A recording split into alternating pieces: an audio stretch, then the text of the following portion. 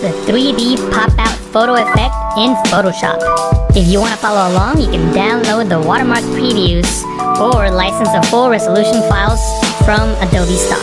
You can find the links to these images right below this video in the description. We're gonna start out with these two layers, the photo frame background and the snowboarder. I have them on two separate layers, of course. And what we want to do is we want to isolate this black area here.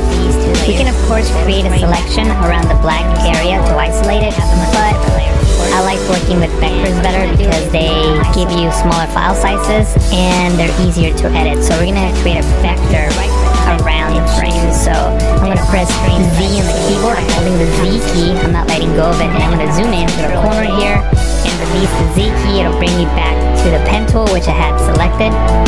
Make sure that you have shape on the options panel on this drop down. Click on one corner and click on the next. Hold the space bar, pan down, click on the bottom right corner, and then click on the bottom left corner. I'm gonna hold the space bar again, click and drag to pan up, and complete that path. Now the color of the shape really doesn't matter, so I'm just gonna make it red just so that you can see it. There it is, red. What I'm gonna do now is enable the layer of the snowboarder. I'm gonna click and drag her up to the top of the layers panel. And I'm also gonna double tap here on the zoom tool just so we can see the image at 100%. And actually, now that I'm looking at it at 100%, I'm actually gonna right click on it and choose fit on screen so that I can see the entire composition. Then I'm going to press Control J, Command J on the Mac to duplicate. So now I have two copies. I'm going to disable the one on the top by clicking on this eye icon and the one on the bottom here. I'm going to clip to the shape below it. So with that layer selected, I'm going to press Control Alt G, Command Option G on the Mac. Then I'm going to enable the layer right above that. Selection around the snowboarder.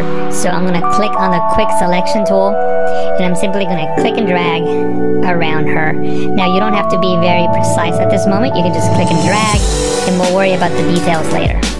So we're just going to select her as quick as we can. So I'm just clicking and dragging and notice that my selection is not very accurate. You shouldn't spend too much time at this moment. If you select an area like this part here that is obviously not going to be part of the selection, I'm going to hold Alt, Option in the Mac, click and drag just to refine that selection just a little bit more.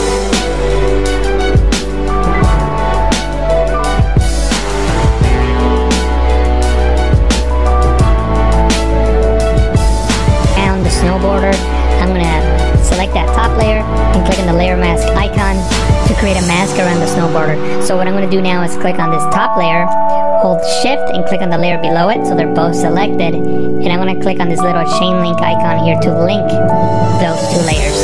What that allows you to do is when you move one of those layers with the move tool, it moves both. And they can be in different groups and they can be separated. So that allows us to keep those two layers together. What I'm going to do now is press Control T, Command T to transform to scale this and adjust it accordingly. If you can't see the corner handles that you want to click and drag on, you can press Control 0, that's Command 0 on the Mac, for the bird's eye view that allows you to see all four corner handles. Then I'm going to click and drag on this one here to scale it down by holding Shift, Alt, that's Shift, Option on the Mac. Now at this point, we can go back and adjust the layer mask if we need to. So I'm going to zoom in just so we can see the areas that we need to work on. So we need to work on this area and then the blue outline around her body. So we can adjust that by clicking on the layer mask in the properties panel. You can click on mask edge. If you don't see the properties panel, you can go into window, properties. Click on mask edge and then maybe shift the edge with a negative value and see how that's adjusted. So keep adjusting it and making sure that that line is gone but we don't lose any detail that we want to keep. Also, with this brush selected, I can click and drag here on the hair and hopefully we'll get a better selection. So now didn't do that good of a job here, so I'm just gonna leave it like this for now and then I can come back with the brush tool and fix that in a moment. So I'm gonna press OK, click on the brush tool, paint with white in areas that I wanna keep. So I'm just gonna paint with white in these areas here.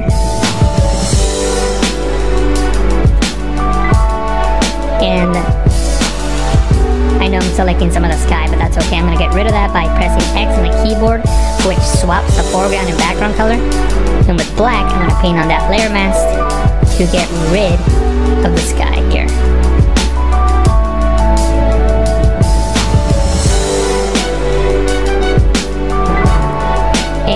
Gonna take the time to do so now. I will do that after the tutorial and you can see the final image, but I'm just gonna go around the entire image and just make sure that everything is masked out accordingly. And in most of these areas, everything seems to be okay. I know we gotta work on this area here. And like I said, I'll do that after I'm done with the tutorial and you can see my final result. But for now, we'll just leave it as is. I'm gonna press Z on the keyboard, right click, and choose fit to screen. And what we're gonna work on now is extra elements that are gonna help our composite look much more realistic and much more interesting. So from the Adobe Stock library, I downloaded two elements we're gonna use. We're gonna use this shovel with snow, so let me just double click on that to open that up. And by the way, the links to these files are on the description. You have to download them from Adobe Stock. They're not free, but you can use a watermark preview to practice on. So I would recommend you doing that just so that you can have a way to practice and learn. So the first thing I gotta do is get rid of the shovel. I'm gonna click on the lasso tool. I'm gonna make a selection around the shovel. And as you can see, it's not very accurate. Okay. Then I can hold shift and backspace or you can go into edit fill to bring up the fill menu under contents choose content aware and press ok and photoshop will fill in those pixels and make the shovel disappear. I'm going to press ctrl d command d in the mac to deselect. And this is what we're going to work with.